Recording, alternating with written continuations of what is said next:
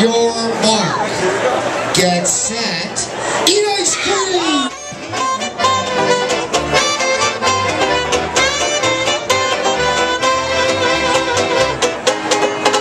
Sixth generation training to become ice cream experts.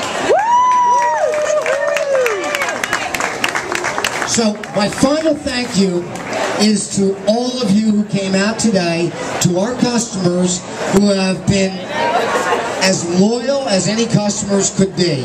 And uh, this is why we're here 150 years later, is because of you.